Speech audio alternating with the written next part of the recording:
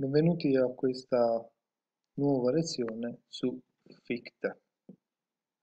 Questa volta tratteremo in maniera più approfondita la filosofia fictiana e cominciamo a farlo di, ponendo subito delle differenze, dei limiti o comunque una linea di demarcazione tra l'idealismo fictiano e la filosofia di Kant che rimane un costante punto di riferimento, in genere polemico, da parte di tutti gli idealisti e da parte di tutta la filosofia romantica. Ora, mentre Kant aveva formulato una filosofia del finito, della finitezza, della determinatezza. Kant parlava di una conoscenza determinata, vincolata, Fichte invece al contrario, all'esatto contrario, intende liberare l'uomo, intende liberare le possibilità umane e tende a costruire, a realizzare, a mandare ad effetto una filosofia dell'infinito, cioè a dire la filosofia relativa ad un'assenza di limiti, di determinatezza, eh, di ostacoli alla libera realizzazione dell'uomo. Anzi, secondo Fichte, l'uomo coincide con l'infinito. L'uomo è l'infinito stesso. Ora, questa filosofia dell'infinito in Fichte assume le movenze di una filosofia dell'io, dell'infinito, dell'assoluto, un io, un infinito, un assoluto che coincidono con l'essere umano o perlomeno con la storia dell'uomo, con l'umanità in quanto tale. Secondo Fichte, l'io è un l'unico principio della conoscenza, è un principio tanto formale quanto materiale della conoscenza, in quanto l'io costituisce la forma della conoscenza, ma l'io costituisce anche la materia della conoscenza, per cui la conoscenza è una posizione e posta da parte dell'io. Allora, se l'io è tanto causa formale quanto causa materiale della conoscenza, l'io è al tempo stesso tanto finito quanto infinito.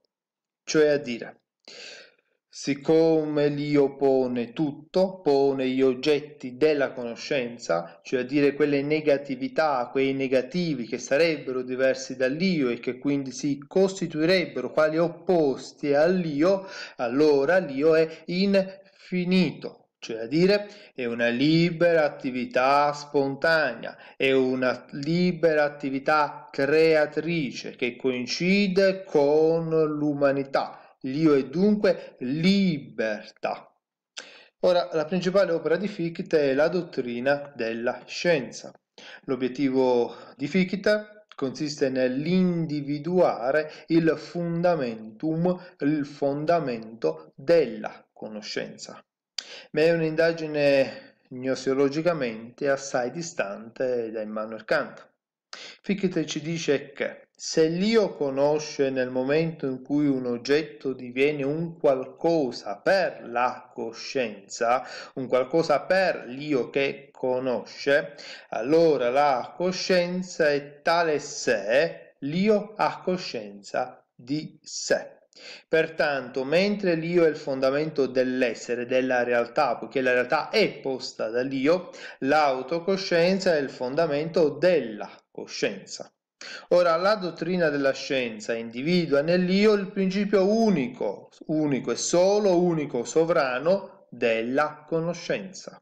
Dall'io dunque deriva, consegue l'intero mondo del sapere, della conoscenza, della sapienza.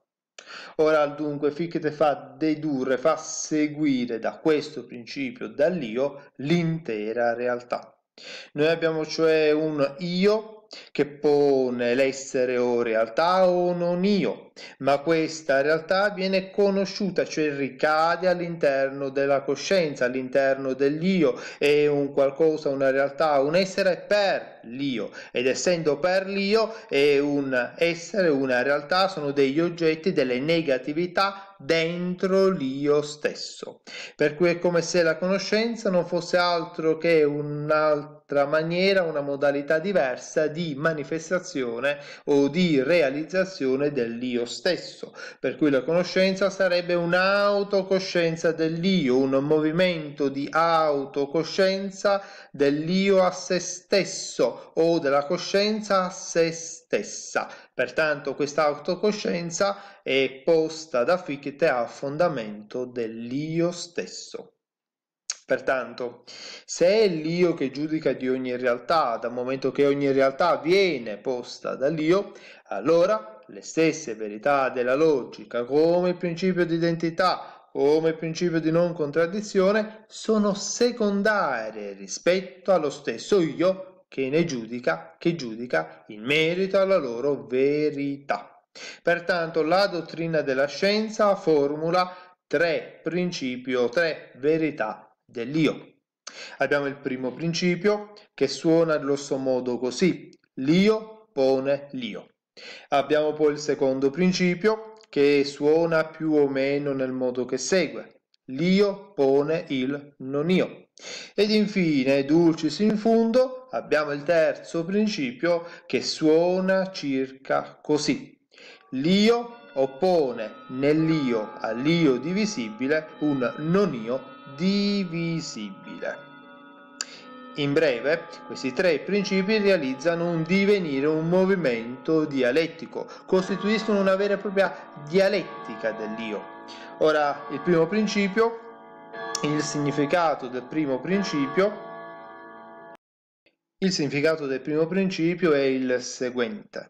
L'io si identifica con la propria attività creatrice ed infinita, senza limiti, assolutamente libera. L'io è libertà, libertà di creare, libertà di porre di autoporsi. Invece il significato del secondo principio è il seguente.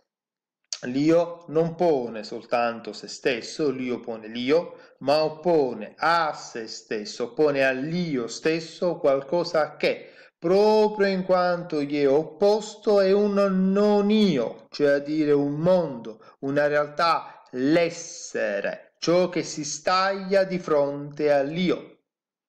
Solo che questa realtà è dentro, è interna all'io stesso, poiché è posta dall'io. Quindi non è qualcosa di diverso dall'io, ma è l'io stesso che la pone, che lo pone l'essere, il mondo, l'oggetto per autoconoscersi, cioè per migliorare la consapevolezza che l'io, la coscienza, il soggetto hanno di se stessi. Infine, il significato del terzo principio è il seguente. L'io produce, genera realizza la situazione concreta del mondo, vale a dire la presenza di una molteplicità di io finiti, i quali hanno di fronte a sé una pluralità di oggetti a loro volta finiti, ad un io divisibile, un non io divisibile, ad una pluralità di soggetti umani io finiti, una pluralità di oggetti non io a loro volta finiti.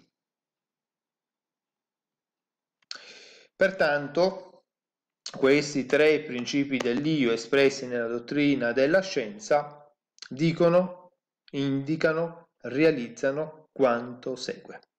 Da un lato abbiamo un io infinito che bisogna intendere come un'attività assolutamente libera e creatrice. Contemporaneamente però esiste un io finito, il quale essendo limitato dal non io si configura nei termini di un soggetto empirico, vale a dire gli io divisibili, ovvero gli esseri umani in carne ed ossa dotati di un nome, di un cognome, di una storia personale, empirica, circoscritta, delimitata. Esiste ancora una realtà, ovvero l'oggetto che si oppone all'io finito, quindi gli i non io divisibili che si oppongono all'io divisibili, agli io divisibili, ma che è ricompreso nell'io infinito, dal quale cioè è posto. L'io oppone nell'io ad un io divisibile un non io divisibile. È tutto un gioco dialettico dell'io stesso. In realtà esiste soltanto l'io e l'io finge di dialettizzarsi in degli opposti, nella pluralità del mondo. Allora questi tre principi non vanno intesi in senso cronologico, in senso temporale, come se ci fosse un prima, un durante e un dopo, ma solo come un momento dialettico della vita dell'io, ovvero per l'io e nell'io, dentro l'io, dentro la coscienza. L'io dunque è finito perché è limitato dal non io, ma è anche infinito poiché il non io è posto comunque dall'io. La meta di questo divenire dialettico, di questo movimento dialettico per opposizioni, è l'io.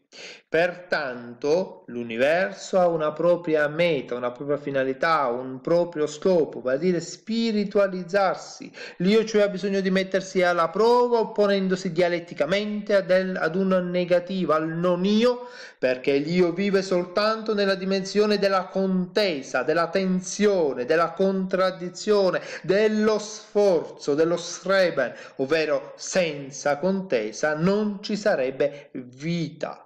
L'io si realizza cioè nel conatus, nello sforzo, nel continuo porre ostacoli e superarli, nel proiettarsi sempre oltre, nell'individuare un nemico e superarlo, vincerlo, batterlo. Se l'io riuscisse a superare tutti gli ostacoli, cesserebbe di esistere. La storia dunque, la storia dell'io, storia dell'umanità, è un processo senza fine, senza termine, di posizione continua continua di ostacoli e di correlativo superamento. Ora l'io pone l'io e il non io attraverso l'immaginazione produttiva, vale a dire l'atto con cui il soggetto crea l'oggetto. Un processo però che l'io non realizza in maniera cosciente, in maniera consapevole, ma in maniera spontanea, ovvero in maniera inconscia. In conclusione, dunque, l'io pone l'io e il non io, pone cioè se stesso e la sua negazione. Abbiamo un soggetto che pone la conoscenza, vale a dire l'oggetto per l'io, l'oggetto che cade all'interno della coscienza dell'io, ma è un io che pone dunque anche il non io, cioè l'oggetto della conoscenza, ciò che diviene un qualcosa per noi e dunque viene conosciuto. L'oggetto dunque è opera del soggetto e ritorniamo così idealmente al soggetto che è fondamento dell'essere laddove l'autocoscienza è il fondamento del soggetto della coscienza stessa. Con questo ci congediamo con la speranza di avervi fatto cosa gradita. Firmato Giovane Prof.